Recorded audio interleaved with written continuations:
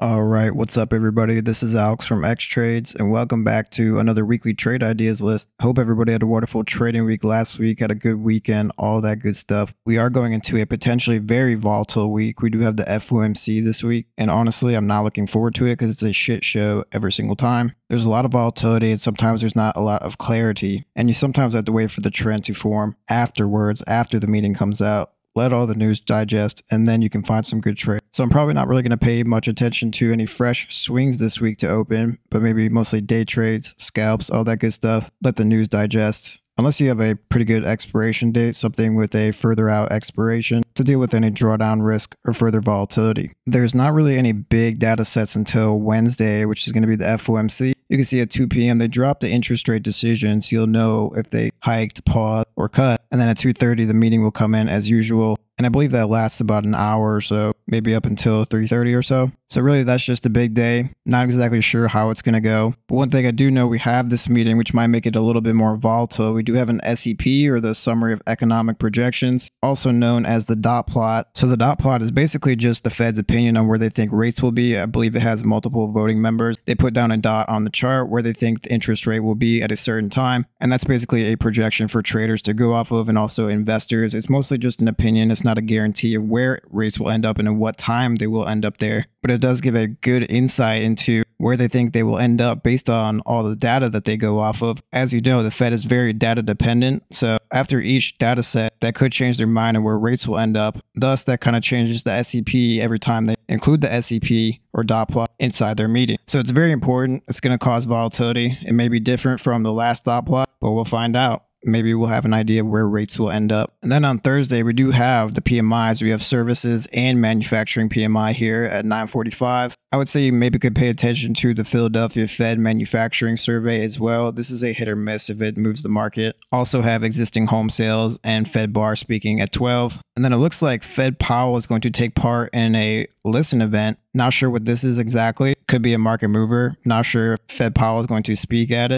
but it could be interesting. So, and then also have Michael Barr speaking again at 12 p.m. and also Bostic at 4 when the market closes. So most important is going to be the FOMC decision, of course, and the press conference. And then we also have services and manufacturing PMIs. Maybe pay attention to existing home sales as well. And on to the seasonality for this week. We do actually have a historically bearish week this week. This is the 18th to the 22nd. You can see summarized profit at 15% over the last 20 years, winning trades at 70%. So if you went short from the 18th to the 22nd, the last 20 years, you would have won 14 times with only six losses. So this period does have a pretty high probability based off the last 20 years that we could see a pullback in the market. You can see the average profit is at 0.74%. So it looks like there could be a higher probability of a pullback. But keep in mind, seasonality has been botched the last month or so. You can see in February, we're supposed to kind of pull back. This has a little bit more winning trades and a higher win rate than this little period right here because this period was only at 50, 60% winning trades.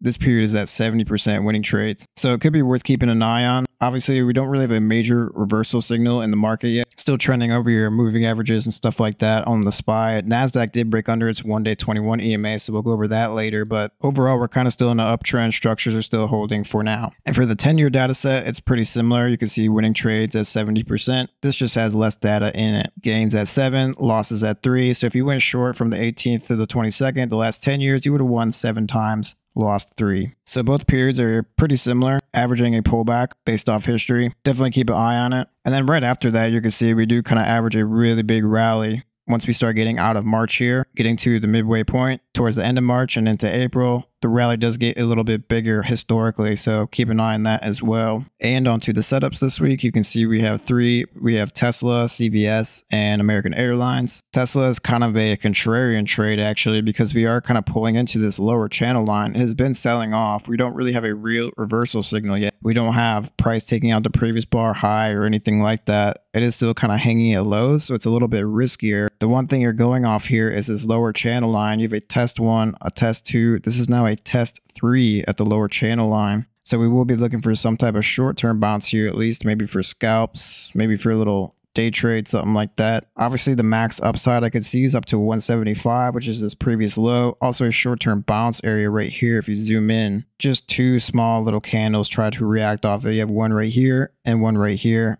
closed ugly, and went for another leg lower. But there was a small reaction to 175. There's also a nice bounce zone right here off 175. So you want to consider 175 as pretty much your ceiling for right now until it can reclaim. Once it reclaims over that 175, you can start shooting for more. But Tesla, obviously looking a little bit oversold, maybe a little bit is an understatement. It's been getting sold off since the new year started. Probably one of the worst stocks in the Mag 7. I don't even know if it's in the Mag 7 anymore after shedding so much market cap. You can see year to date, it's down almost 35% here. So very rough year for Tesla so far. Maybe EV demand is actually slowing and market is correct. I feel like with Tesla overall, you kind of do have to be selective when you trade it because it can fall into ruts very easily and the ruts last a long time and it kind of sucks. You can see the trading really hasn't been that good, honestly, since like July.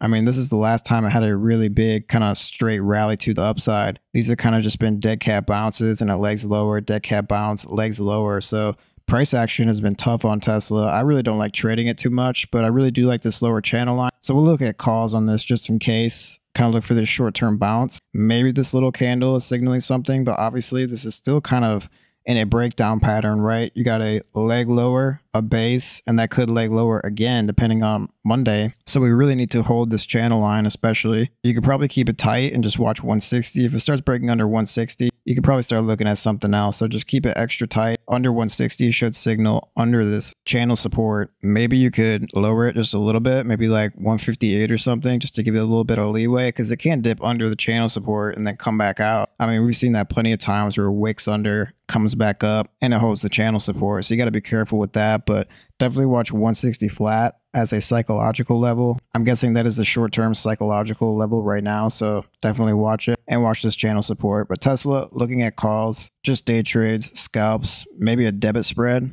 further out expiration, April minimum, to deal with the price action because the price action on Tesla can be tough. But I feel like a debit spread or maybe a put credit spread to the upside could deal with a little bit of that risk. All right, next we're going into CVS. You can see we're breaking out of a pretty clear wedge pattern here. We have a test one, a test two, short term, test three rejection to breakout, test one, test two, basically test three, four, five on these bars right here. Close enough for me. This is a clear uptrend. This is a clear downtrend. So we are breaking out of that symmetrical wedge now. So it's definitely worth to keep on watch for some upside. Obviously, it will need to get over 78.30, which is this clear resistance area right here. It needs to break over that, make a base on it. Obviously, it can just shoot right over as well, but for a really solid trade, you want to see that back test holding, make a base, solid structure, then it can leg higher. If it can do that, you can start looking for that 83.25, which is this peak right here. Pretty simple. One level right here, one level right here, wedge breakout. There's really not anything too technical here or difficult. If it starts breaking back under the uptrend line or starts breaking back inside the downtrend line, you can start looking at something else. Maybe 72.60 or maybe 73 flat, something like that can be your risk off. Yeah, 73.04. If it breaks under this, you could probably start looking at something else because if it breaks under this 73 flat, it's probably going to be under the uptrend line too. So just watch that as an invalidation level if it does want to go back in. Maybe the market wants to go bearish this week or something. That's kind of your risk off level to look at something else. Obviously, CVS, I mean, it's up one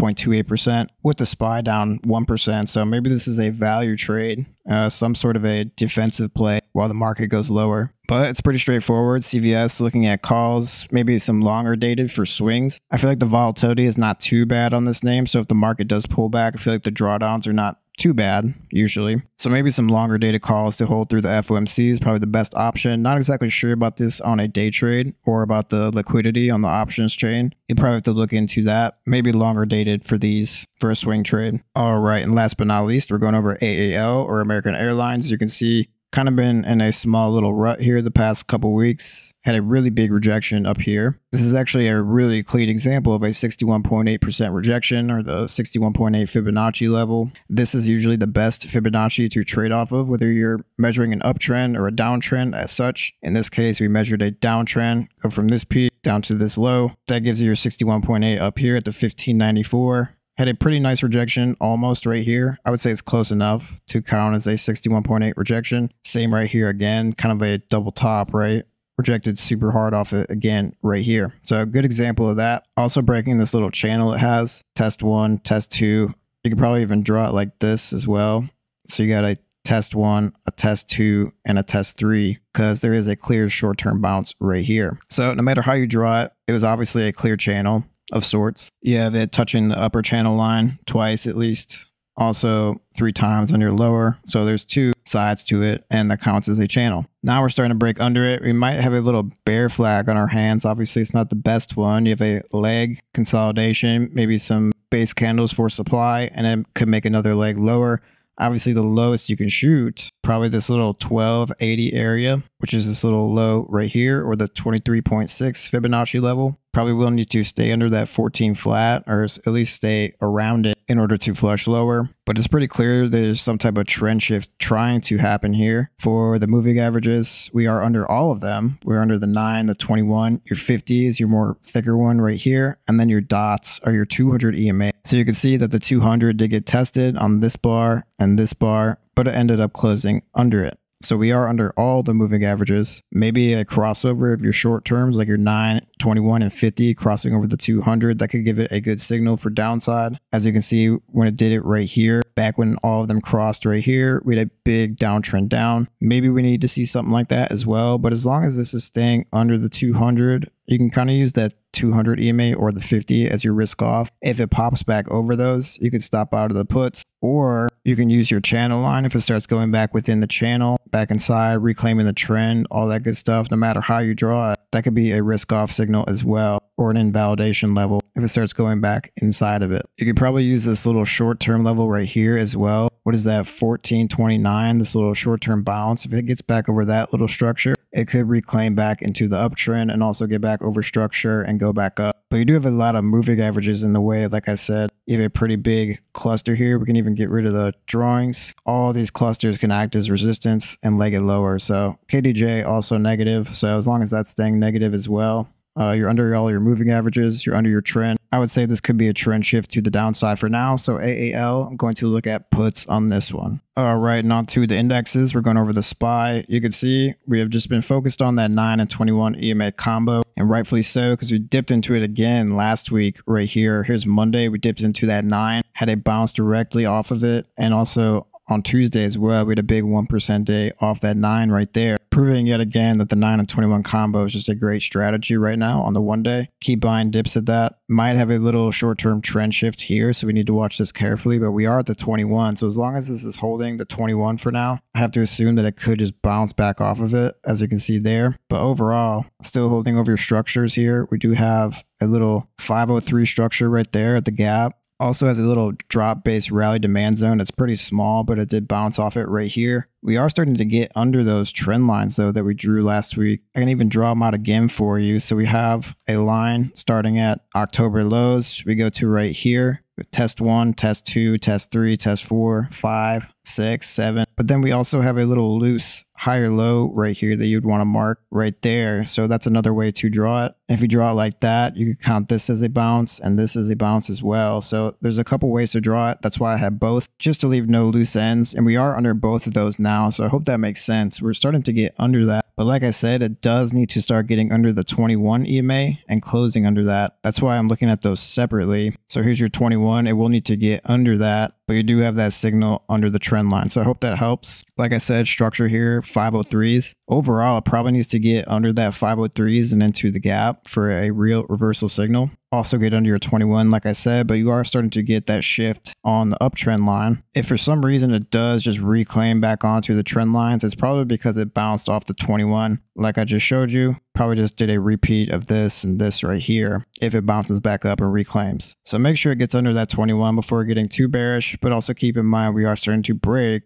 under your uptrend lines here. So a little bit of a shift from last week. Not too much of a change though. This was last Friday's close. We are just right here. So just one little shift in the playbook here. You also have clear resistance, 518s or so, 517 as well. These little rejection areas, one big rejection bar, uh, two rejections right here to lead to this. So maybe mark those as well. You have a very tight structure support right here at 508.50. You can mark that for day trade levels. So if you want to do that, you can do that too. We can even get rid of this if you just want horizontal levels. Mark your 508.50, 517.38, 518.22. A little structure right here, right? You got a short-term bounce off this, short-term bounce off this.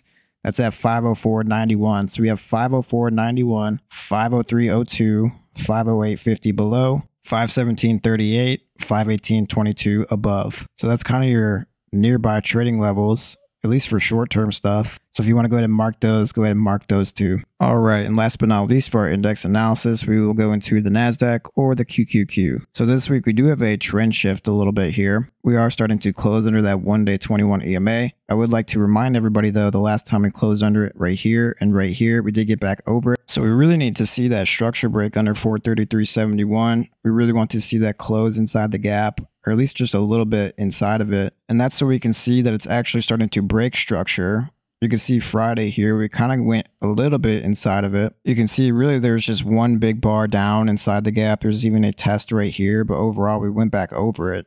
So we kind of keep farting around at this. We've bounced from it before, probably two or three times. You can see this general area bounced right here, bounce right here, kind of a little bounce candle right here. It didn't tap it directly, but overall you can see, I mean, above this 433, markets have been staying in shape. So we really need to get inside this gap, maybe start closing inside of it for a real reversal signal. But there is signs that we are starting to break that trend. Here's your trend from October lows. It's pretty clear that we're starting to get something shift here. Test one, test two, test three bounce attempt, now failing. So under that 433.71, that can give a really nice flush to the downside. You would probably need to start looking at that 421.63 and also 416.79, assuming it starts filling the gap. Maybe even when the gap closes, you could look for a short-term bounce there as well. But if it gets back inside, you do want to consider these lower pivots right here. So that 416s and 421s would be a good bounce area as well. So clear trend shift here, at least the start of one. But like I said, needs to get under 433.71 for a real flush down. But that's really all I got for you guys this week. We don't have a close under the SPY 21 EMA yet, but we are getting kind of close, I guess. QQQ for sure did close under the 21, also closing under your trend. SPY also closing under that trend line, so definitely want to keep that on watch. Maybe that's aligning with that bearish seasonality tilt. Like I said, if you went short the past 20 years in this period coming up from the 18th to the 22nd, you would have won 14 times. Pretty good odds, I would say, for some downside. Not exactly sure what's going to happen though with the FOMC meeting. It's a total gamble, and I'd be lying if I said I knew what was going to happen. But we do have technicals starting to point down a little bit on the indexes at least. Maybe some of these setups can give us some good day trades and stuff like that for scalps, at least up until the FOMC. And then maybe after the news digests, we can take some longer term swings, start being a little bit more confident about overnight holds because we know that it's not going to turn on us in the blink of an eye. So hope you guys enjoyed this video. Make sure you like, comment, and subscribe to our Xtrades YouTube channel. I did put up a new educational video this week. I believe I put it up maybe Tuesday or Monday or something. It's a new video on finding market reversals using candles. So go ahead and check that out. It's a nice little crash course for beginners, maybe even for people who just want to make their trading a little bit more simple. So be sure to go check that out in the channel. I love you guys. Make sure you like, comment, and subscribe and I'm out. There's a reason why Xtrades is currently the fastest growing application on the market for sharing financial ideas. With over $2.5 million paid in the last two years to contributors, users are flocking to see what trades the top traders on the leaderboard are sharing in real time. If you're looking to grow your reputation as a trader on the internet or discuss your trading ideas with other reputable investors, click the link below and get connected with a trading mentor today, completely free of charge.